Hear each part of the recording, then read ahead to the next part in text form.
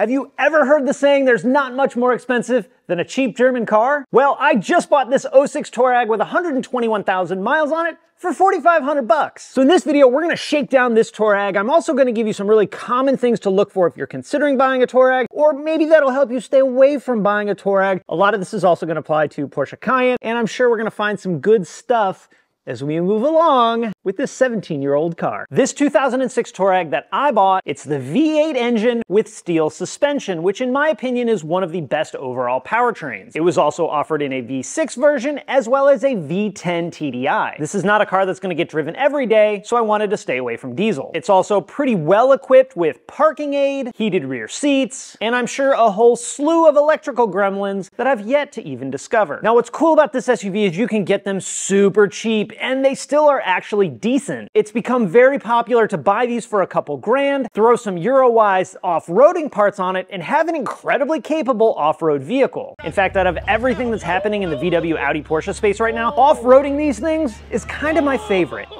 So under the hood, we have the V8. We'll go ahead and check our air filters. These were actually kind of a pain in the butt to even get to. One thing I just did notice is right here, I have a broken vac line from the vacuum pump to the brake booster. All this, all this. Oh, look, this is off too.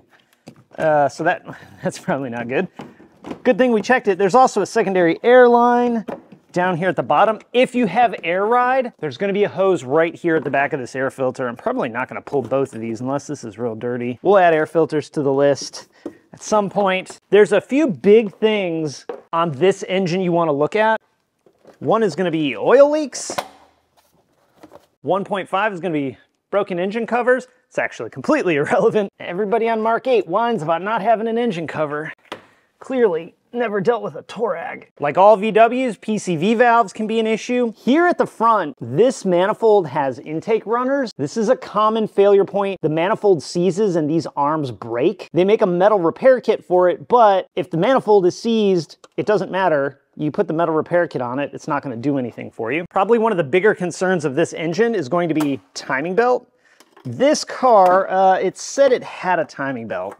I forget what the mileage was. Looks like we could probably stand a new water pump pulley. This car came from Pennsylvania, so there's a lot of oxidation and kind of rusty bits. You can see that right there. We got some marks here. Uh, we've done a timing belt at some point. That may be a video worth me doing to show you how to do it. This is a super easy timing belt to do, but it will be expensive if you pay someone else to do it. Along with timing belt issues, these are timing chain driven on the backside and timing chain tensioner, tensioner gasket failure is somewhat common too. This one does have a bit of rattle at cold start, so we may be addressing that at some point too. There's also a fair amount of vacuum lines on this engine. I haven't seen a ton of those fail, but anytime you have a vacuum line, you have a potential failure point. Now the interior on these holds up exactly like all VWs of this vintage vintage, kind of terrible. You can pretty much expect every button that might get pushed to have the majority, if not all, of the soft touch coating peeling off. And if it's not peeling, it's nice and sticky and gross, especially when it gets hot. Now for what I'm gonna be using this for, which is gonna kind of be a beater to replace that Tacoma that I had, I don't really care about that. Also, this came with some weird aftermarket radio that didn't quite work right, so I'm test fitting this radio, which is why it's sticking out. There's a bunch of wires back behind it that I need to fix. You also wanna take a good look at the headliner because I guarantee guarantee at some point every Touareg has had some kind of water leak. You can see the evidence here on the headliner, which is also completely floppity and hanging down. I don't know if this water leak has been fixed, but the headliner's got to come down anyway, so that'll be something we address at a later date. Really, if you're buying one of these and you're going through the interior, hit all the buttons. Make sure everything works. I do have some headlight range control warnings coming on that I haven't really dug deep into yet. The biggest thing on the interior, push all the buttons and make sure things work. And if they don't, use it as a leverage point to save some money on the car. We also have the struts in both the glass hatch, which check it out, the glass opens separate on this one, as well as the main hatch.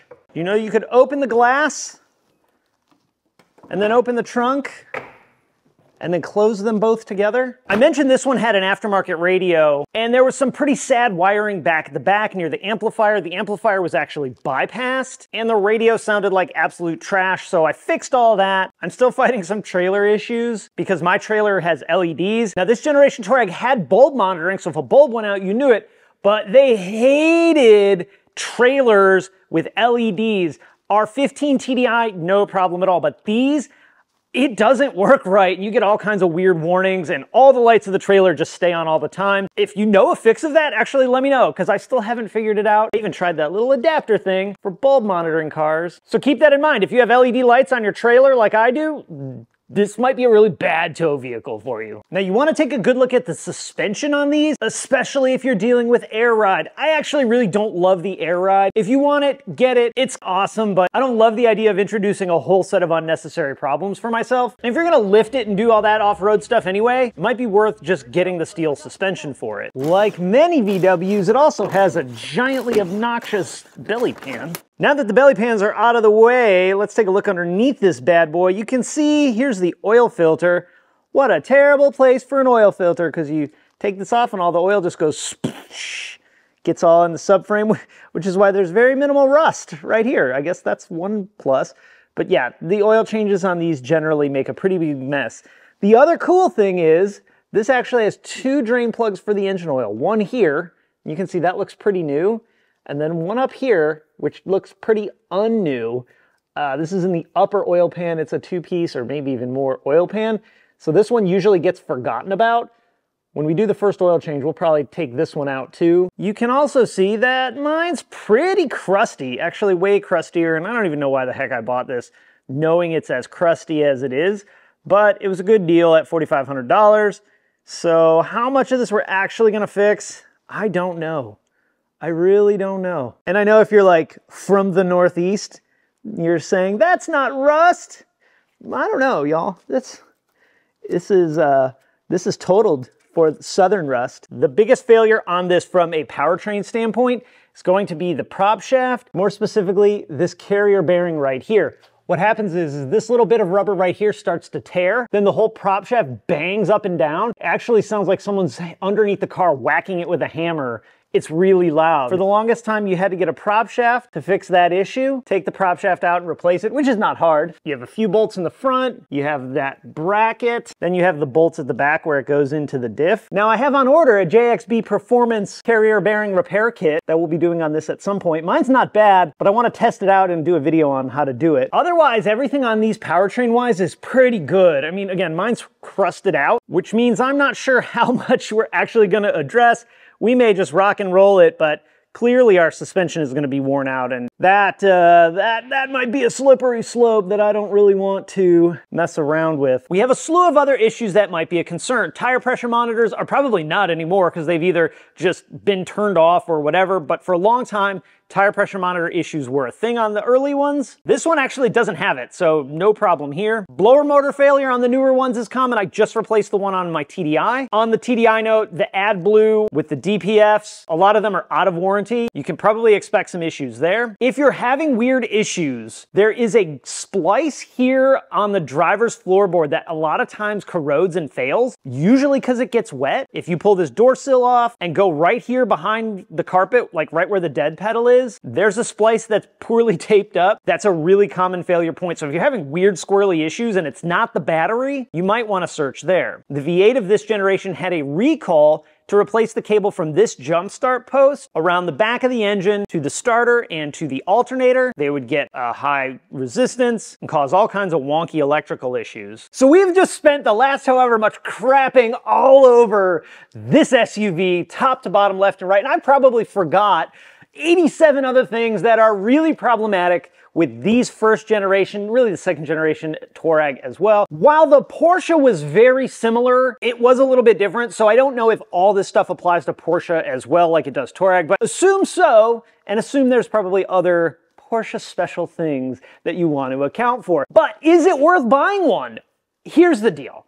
I Love this generation of Touareg. So in my career, I grew up learning how to fix Volkswagens on these, so they always have a special place for me, but they are challenging. Now, if you buy one of these for three grand, four grand, and want to just thrash on it, I love it. I love the Eurowise catalog of lift kits and skid plates and roof. Dope. Love it. However, the thing that everybody likes to forget when they buy a used German car is just because you paid three grand does not mean you're fixing and maintaining a $3,000 car. In today's dollars, this exact model is basically an $80,000 SUV. Ugh. You are still buying parts for an $80,000 SUV that likes to eat tires, likes to eat brakes, has all the peely stuff happening, the floppity headliner, all of it. I love how affordable these are right now. I love that you can buy one for three grand, take it and thrash it and not have to sweat that the instrument cluster MFI is all faded out, which is also a common problem. Just remember, it's not gonna be $3,000 car repair prices, it's gonna be $80,000 car repair prices. So what's gonna happen with this one in the future? I actually don't know after relooking at all that rust. We might just leave it exactly how it is and do absolutely nothing. So I turn to you, what should we do with this exact 06 Touareg? All right, as always, questions or comments, drop them down below. With that, I'm out. Thank you guys so much for watching, and I'll talk to you again next time. Bye. That's 80,000 bucks gone. Where the did you spend it? I bought a Touareg. That's where, Luda, I bought a Touareg.